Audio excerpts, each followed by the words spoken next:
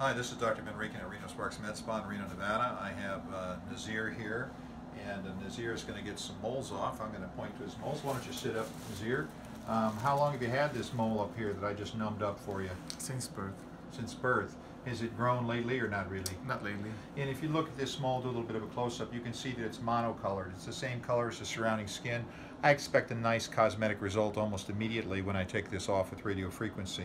Now, if you look at some of the other moles, this one also is monocolored. I expect a nice cosmetic result here. That hair will grow back. You'll have a bit of a bald spot for a little bit, but the hair will grow back. Now this one's a little darker, it's a little lighter because I numbed it up, but it's actually darker than the surrounding skin. That may still have a dark base when he's done. And then he has one on his occiput back here, the back of his neck, and he'll have a bald spot immediately, uh, but that will grow back and the hair will grow back at a normal rate, just as if he had a close shave. All right, I have here the, uh, the, the real star in this room is the Ellman Surgitron. It's a radio frequency machine works quite nicely. You can put it on cut, coagulation, or sort of destroy mode, which is fulguration. And uh, so what we're going to do here is turn it down to about 12, the standard setting that I typically use for skin work. And the business end of this is a very small little, less than a centimeter uh, uh, round wire loop and will actually uh, perform cutting function it less of a crush injury than you would get with a scalpel. So the cosmetic result is superior. So this is a wet procedure, so we like to keep the area wet. Why do we like to keep it wet? Because this actually bursts the water in the cells. So I'm going to put a little water up here and just kind of leave these areas wet. The wetter they are, the easier the procedure goes. And uh, you'll see in a minute, it's quite cool. The, uh, the mole will just kind of come right off like a hot wire through butter. You ready, my friend? Ready. Okay.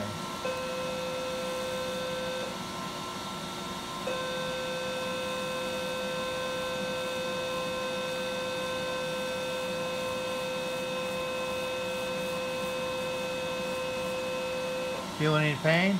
Nothing.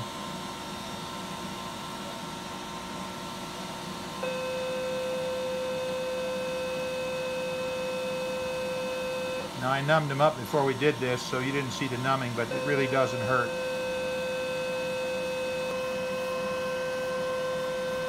Still no pain? No pain.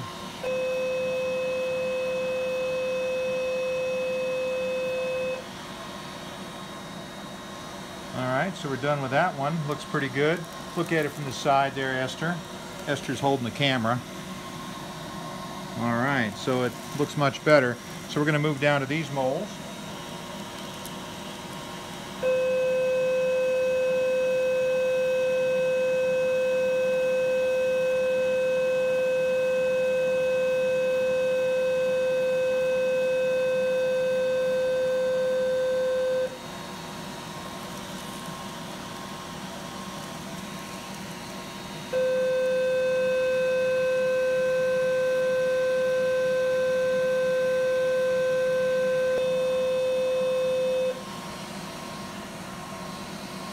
Pretty good.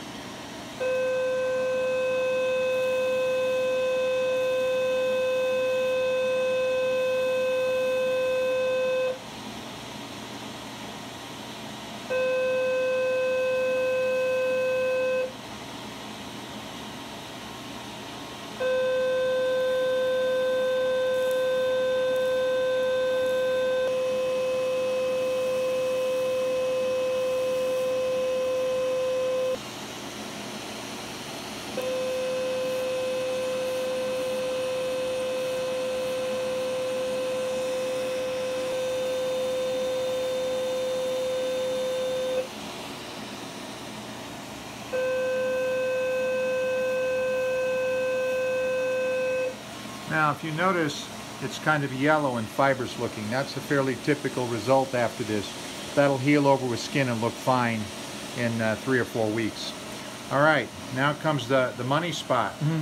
Let's uh, give him a mirror and see what he thinks. I want you to first focus on your forehead. You happy? Oh yeah, it's, it's incredible how fast it was. Yeah.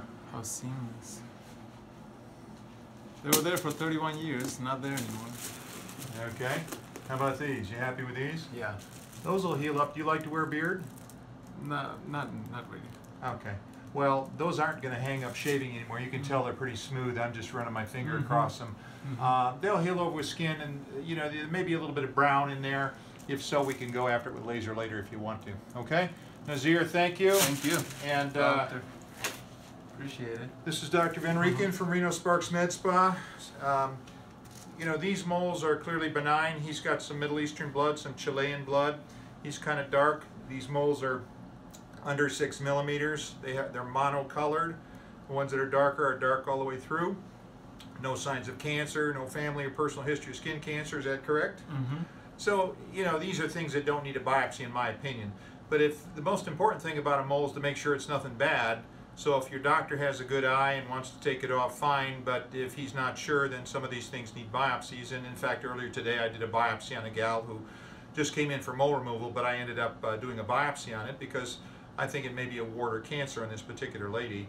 So, uh, you happy? Happy. All right. Thank you again. Thank you. All right. This is Dr. Van Rieken from Reno Sparks Med Spa. Stay good looking.